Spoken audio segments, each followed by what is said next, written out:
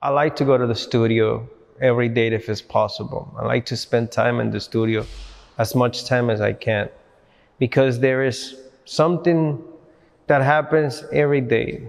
So in the case of Van Gogh, it came in 2021.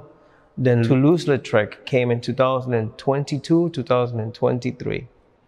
And I was a little bit of, I would have said, afraid because Toulouse life was very intense.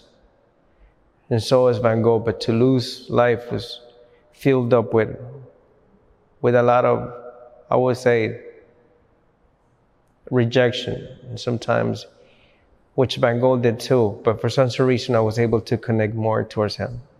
And I, I did the Queen Bee, and then I did the Guest of Honors, and then the Messenger, just the one with the horses.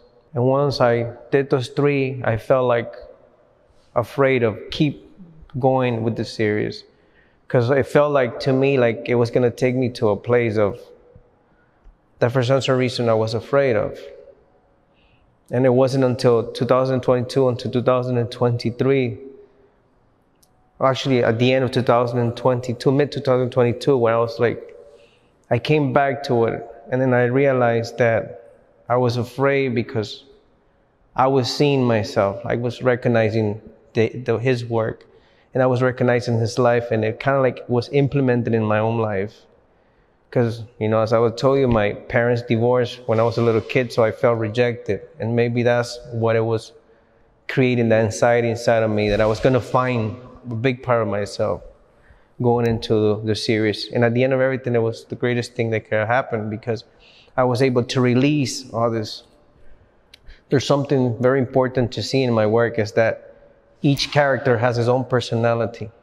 It's not a repetition of the same character, and that comes from being in tune to whatever I'm, you know, looking at. And all these characters of Toulouse-Lautrec would never have been possible if Toulouse-Lautrec wasn't there for the first time. So it was that connection that created this body of work. It's the same thing with the Van Gogh series. If you look each character individually, they're not the same. Each one has his own personality.